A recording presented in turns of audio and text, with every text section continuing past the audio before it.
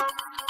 E aí galera, tudo bem com vocês? Após um longo e tenebroso inverno, né, foram aí nove vídeos mostrando o Cruzeiro fazendo campanhas horrorosas em Campeonato Brasileiro. Dessa vez nós vamos ter uma campanha espetacular para relembrar a conquista do título na temporada 2013. Foi um time do Cruzeiro de montagem relativamente barata, né, não era um plantel tão caro assim. Houve certo investimento, mas muito foi pago pela negociação do Montijo, que era o nosso craque até então. E foi um time do Cruzeiro que definitivamente fez todo o torcedor sentir muito orgulho de vestir essa camisa azul, porque o Cruzeiro, além de ganhar de todos os adversários durante a campanha, a gente jogou bola demais. Sem muita conversa fiada, esse foi o time do Cruzeiro na estreia daquele campeonato brasileiro, tal. Tá? O Marcelo Oliveira nos escalou aí com o Fábio no gol, a zaga com Dedé e Bruno Rodrigo, Ceará na lateral direita e Egídio na esquerda. No meio-campo, Leandro Guerreiro e Newton eram os volantes, né? Everton Ribeiro na meia direita, Diego Souza centralizado, Dagoberto pelo lado esquerdo e na frente o Borges. Botei de lado aí essa galera que também jogou bastante no primeiro turno do campeonato, só destaquei William e Júlio Batista ali porque eles chegaram já numa fase final, né? Já no final do primeiro turno, mas ainda assim conseguiram contribuir de forma importante. Com a bola rolando, o Cruzeiro moeu o Goiás, tá? Enfiou 5 a 0, já assumiu a liderança na primeira rodada. O nosso primeiro gol no campeonato é marcado por Diego Souza, que logo depois seria negociado com o Metalist da Ucrânia, né? Na transferência que traria o William Bigode para cá emprestado. O nosso segundo gol é marcado pelo zagueiro Bruno Rodrigo, que divide aí com o goleiro Arley, né? O 3 a 0 do Cruzeiro é marcado pelo volante Newton, mais uma vez gol de bola aérea. O Borges marca nosso quarto gol ainda no primeiro tempo. O Cruzeiro fez um primeiro tempo de sonhos, né? E o quinto gol foi mais uma vez marcado pelo Newton aí depois da cobrança de escanteio. A bola aérea do Cruzeiro era um troço absurdo realmente. Aí a gente vai enfrentar o Atlético Paranaense lá no Paraná e sai perdendo por 2 a 0, tá? O Pedro Botelho abre o placar pro Furacão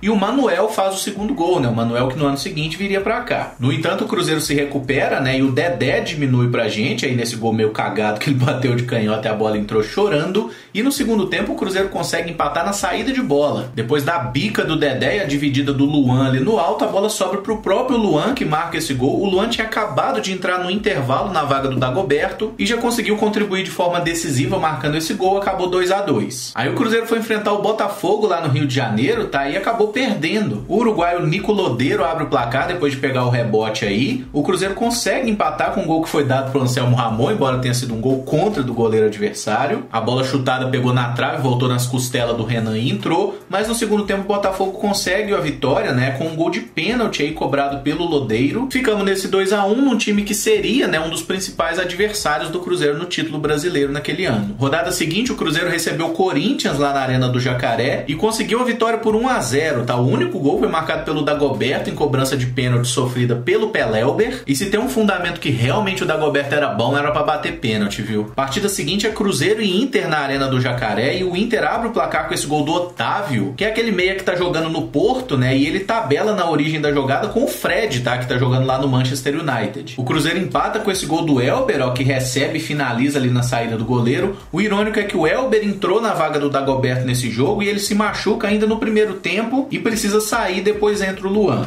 Na etapa complementar, o Cruzeiro vira depois do pênalti idiota cometido pelo zagueiro do Inter, o Everton Ribeiro marca o gol, mas o Colorado consegue empatar já no final com o lateral direito Gabriel, tá? Aquele que passou aqui pelo Cruzeiro, né? Ele bate de fora da área e fica no 2 a 2. Aí tem aquela pausa para a Copa das Confederações, né? E quando o Cruzeiro retorna às atividades é num jogo contra a Portuguesa e a Lusa abre o placar com esse gol de cabeça do zagueiro Valdomiro, tá? Mas ainda no primeiro tempo o Cruzeiro empata também com um gol de zagueiro, outro careca, o Bruno Rodrigo, que nesse ano aí jogou bola demais, mas foi só nesse ano também. Rodada seguinte é Cruzeiro e Náutico no Mineirão, Náutico que era o lanterna do campeonato e o Cruzeiro vence bem por 3 a 0. O Ricardo Goulart marca o nosso primeiro gol depois de completar o cruzamento da esquerda. O 2 a 0 é marcado pelo Vinícius Araújo, que na época eu achava que ia virar um grande atacante, infelizmente não foi o caso, e o próprio Vinícius Araújo faz o 3 a 0 pro Cruzeiro, consolidando aí um resultado bem tranquilo até, né? A gente conseguiu vencer sem sofrimento. Aí eu peço que todos parem as máquinas, tá? Porque agora vai acontecer uma coisa inacreditável. O Cruzeiro enfrenta o São Paulo no Morumbi e dessa vez a gente não perde, muito pelo contrário, a gente ganha e por 3 a 0. Todos os gols são marcados pelo atacante atacante Luan, tá? O primeiro é esse golaço, depois do cruzamento da direita, ele pega de primeiro e manda no ângulo. Obviamente ele não queria chutar ali, provavelmente ele queria mandar no outro canto, né? Mas foi um daqueles dias que a vida sorri para um cidadão e nesse dia foi o dia do Luan e consequentemente do Cruzeiro. O segundo gol dele é marcado aí depois dessa boa arrancada que ele finaliza na saída do Rogério. Quem vê um gol desse acredita que o apelido Luanel Messi é justificável. E o terceiro gol também marcado pelo Luan depois que ele ganha ali do zagueiro do São Paulo e também conclui com uma categoria violenta.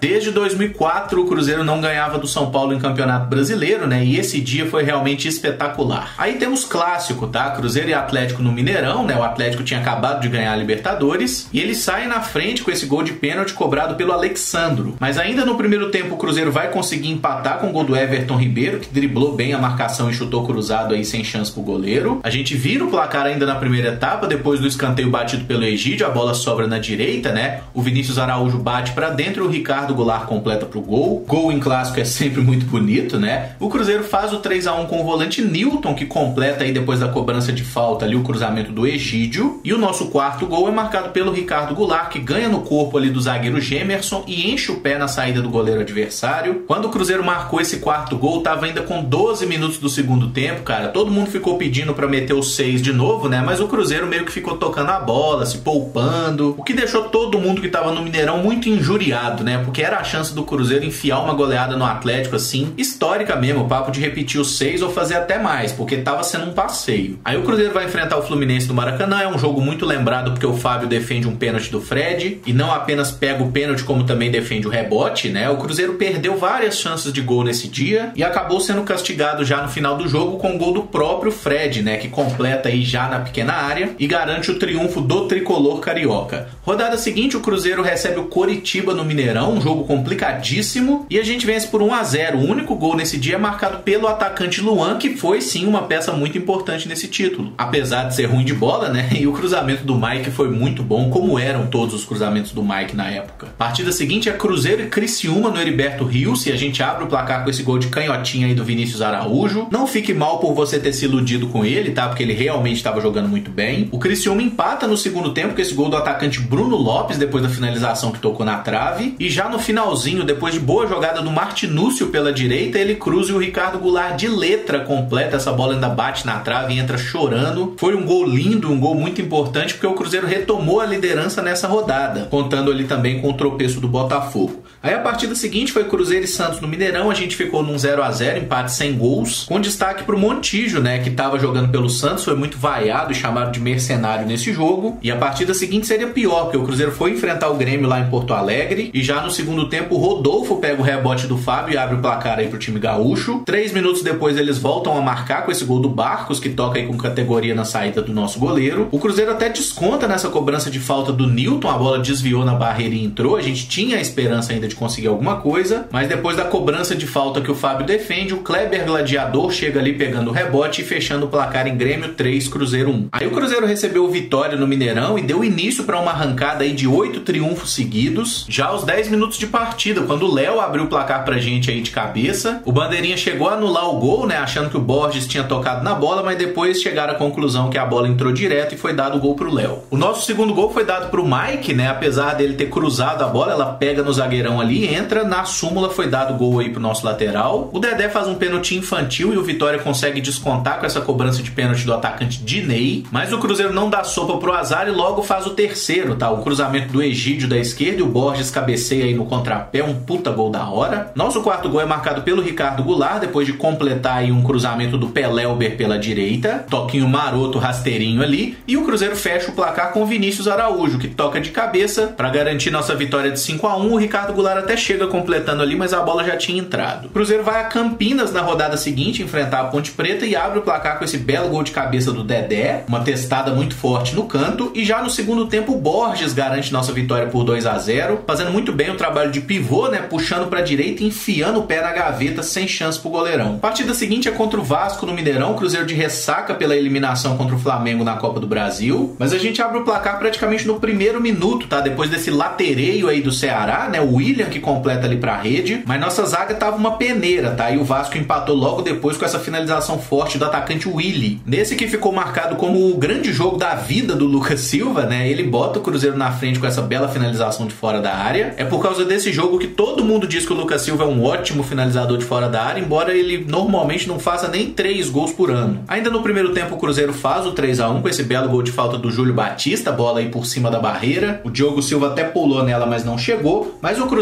daria uma morrida no final do primeiro tempo e tomaria um empate. O André, atacante, completa aí para fazer o 3 a 2 e o Willy marca mais uma vez. Esse camarada só jogou bola nesse dia. Certamente foi a melhor atuação da vida dele e tinha que ser justamente contra o Cruzeiro. Já em meados do segundo tempo, a gente volta à frente do placar com esse golaço do Lucas Silva, né? Que ajeitou ali, enfiou uma raquetada de muito longe lá no ângulo. Foi um gol realmente espetacular. E já no finalzinho, o Cruzeiro garante a vitória por 5 a 3 com Vinícius Araújo. Ele recebe o passe aí do Goulart e apenas finaliza na saída do goleiro para dar aquela respirada. Todo mundo ficou muito aliviado com essa vitória, né? Porque o Cruzeiro precisava mostrar força depois de ter saído na Copa do Brasil. Nosso jogo seguinte foi contra o Bahia lá em Salvador e o Cruzeiro abre o placar com esse gol de cabeça aí do atacante Borges ainda no primeiro tempo. E a gente amplia com o Everton Ribeiro, tá? Que domina, dá um meio de Kerlon ali, né? Dribla o camarada no corpo e chuta de direita no ângulo, fazendo um baita golaço, né? Pouco depois que ele já tinha marcado aquele gol espetacular contra o Flamengo. O Bahia até desconta de cabeça com o gol aí do volante Fael, mas o Cruzeiro consegue fazer o 3 a 1 e dar tranquilidade com Júlio Batista. Tava esperto ali dentro da área para pegar o rebote, enfiar a raquete de canhota na bola, estufando a rede e garantindo pra gente o título simbólico aí de campeão do primeiro turno. E o fechamento dessa primeira parte do campeonato foi um Cruzeiro e Flamengo no Mineirão. Foi um jogo muito louco. O Cruzeiro jogou bola demais nesse dia, mas ganhamos só por 1 a 0, tá? E o único gol foi marcado pelo Ricardo Goulart depois do cruzamento da direita.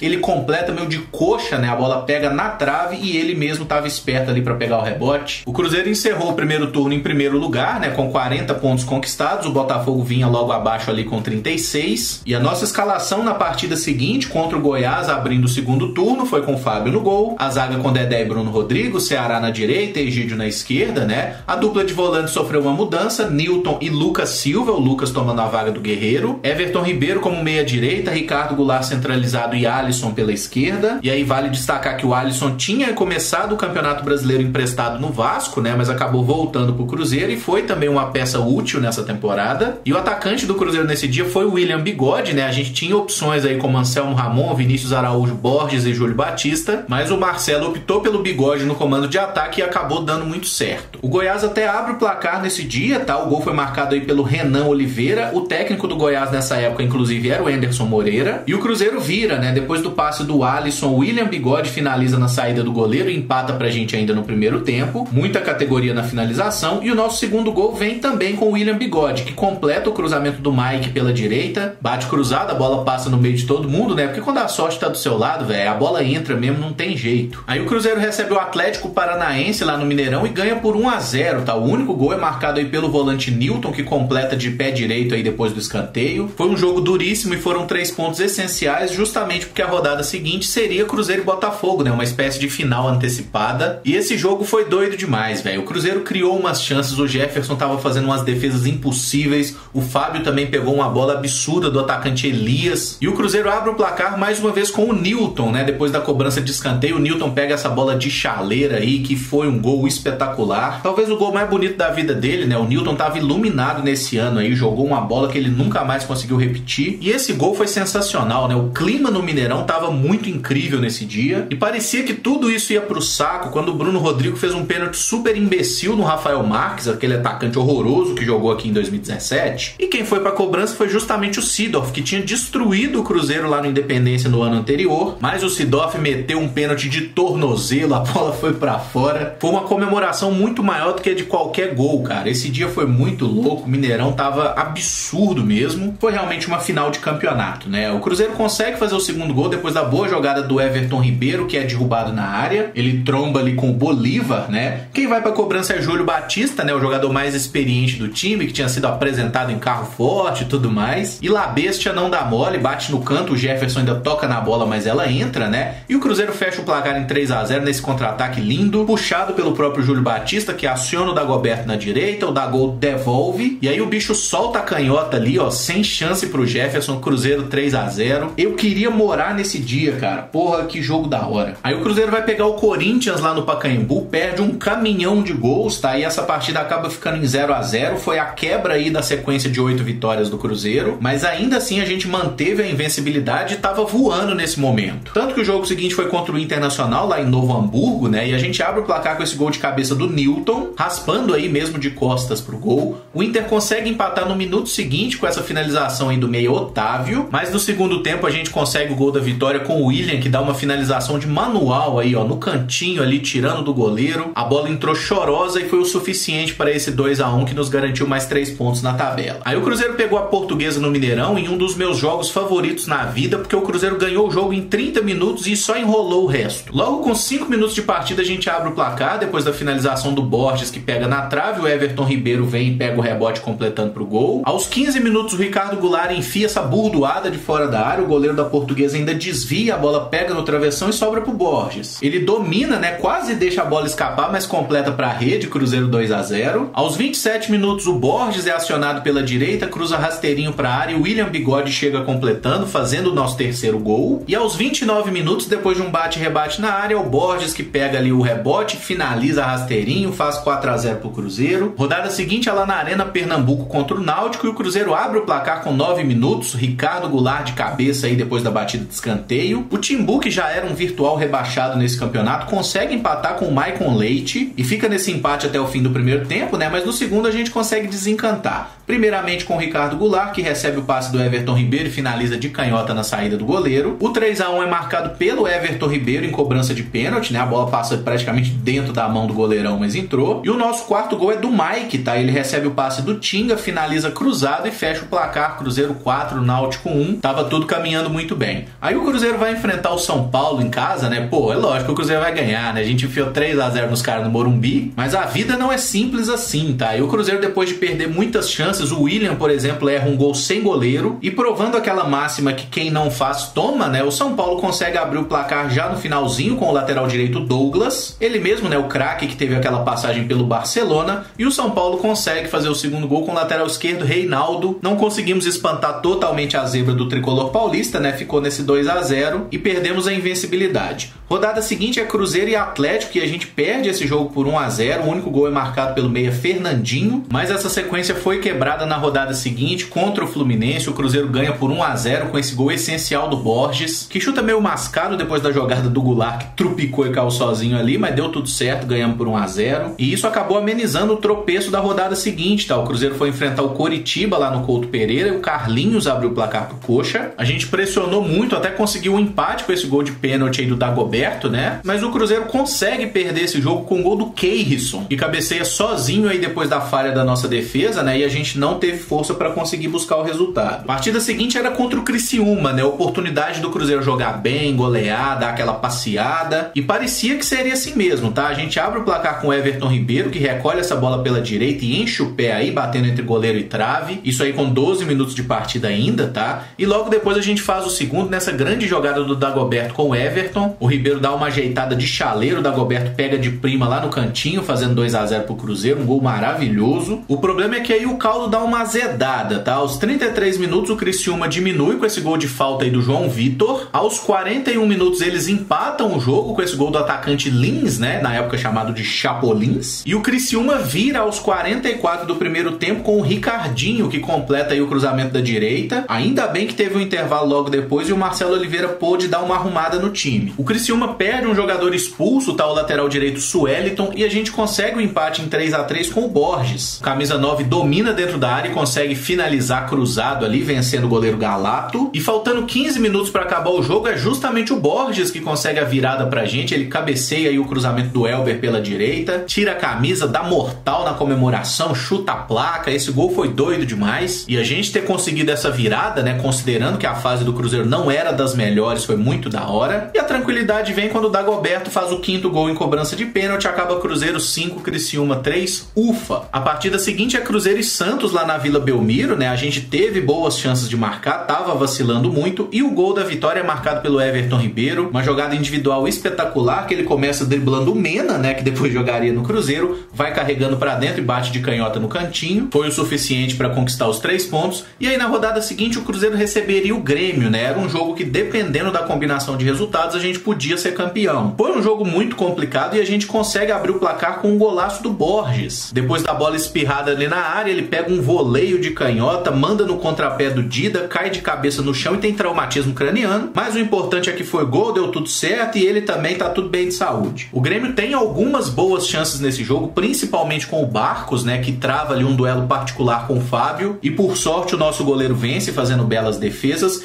E já no finalzinho do jogo, 78 minutos, depois da cobrança de lateral do Ceará, naquela jogada que nunca dá em nada, a bola sobra no William e ele finaliza de canhota vencendo o goleiro Dida, fazendo 2 a 0 pro Cruzeiro, dando início à festa, que foi oficialmente declarada aos 41 minutos do segundo tempo, quando o Ricardo Goulart pegou de primeira essa bola da direita, deu um tapa no contrapé do Dida, fechou o placar em 3 a 0 pro Cruzeiro, o que não garantiu o nosso título matematicamente, tá? O Cruzeiro tava aí com 71 pontos e o Atlético Paranaense com 58. Era o único time, né, que poderia alcançar o Cruzeiro nesse momento, já que Grêmio, Botafogo e Goiás tinham ficado para trás. O jogo do título efetivamente foi Cruzeiro e Vitória lá no Né? O Cruzeiro abre o placar no primeiro tempo com esse gol do William, que recebe em velocidade e toca na saída do goleiro, e aqui o Cruzeiro é campeão brasileiro, tá? Porque o jogo do Atlético Paranaense começou antes, né, e terminou no intervalo do nosso. Como o Furacão perdeu por 2 a 1 pro Criciúma lá no Heriberto Rilse, independente do que acontecesse entre Vitória e Cruzeiro, a gente já era campeão. Tanto que os nossos jogadores já começam a comemorar o título no intervalo da partida, né? O que é uma coisa inédita, porque o Cruzeiro foi campeão aí no meio da 34ª rodada, digamos assim. O Vitória reage no segundo tempo e até consegue empatar com esse gol do atacante Dinei, que finaliza ali dividindo com o Fábio, mas o Cruzeiro volta à frente do marcador com o Júlio Batista, que completa ali rasteirinho o cruzamento da esquerda, e a gente fecha o placar em 3 a 1 com mais um gol de Ricardo Goulart, mais um tapa maroto no contrapé do goleiro, para garantir mais três pontos na tabela e fechar a campanha com chave de ouro. Faltavam ainda quatro rodadas para acabar o brasileiro e o Cruzeiro não ganhou mais nenhum jogo. A gente recebe a Ponte Preta lá no Parque do Sabiá, cumprindo punição, né? Não podemos jogar no Mineirão. E a Macaca abre o placar com esse gol aí do atacante Leonardo ainda no primeiro tempo. O Cruzeiro reage já no finalzinho do jogo, empata com um gol de cabeça aí do Meia Souza e vira com Vinícius Araújo, que recebe do Everton Ribeiro e enfia o pé na gaveta aí, fazendo Cruzeiro 2 a 1 Mas já nos acréscimos a gente toma um empate com esse gol novamente do atacante Leonardo, que finaliza aí de cavadinha na saída do Fábio. Aí o Cruzeiro vai ao Maracanã enfrentar o Vasco, o Vasco sai na frente com esse gol de Balotales, né, já falecido atacante inclusive, e cabeceou ali no contrapé do Rafael. O Vasco faz 2 a 0 com o Edmilson e o Cruzeiro desconta com o gol do zagueiro Paulão, tá? Depois da cobrança de falta do Everton Ribeiro. O Paulão raspa na bola, ela entra no cantinho, mas o Vasco venceu por 2 a 1 o que acabou não adiantando nada porque foram rebaixados do mesmo jeito.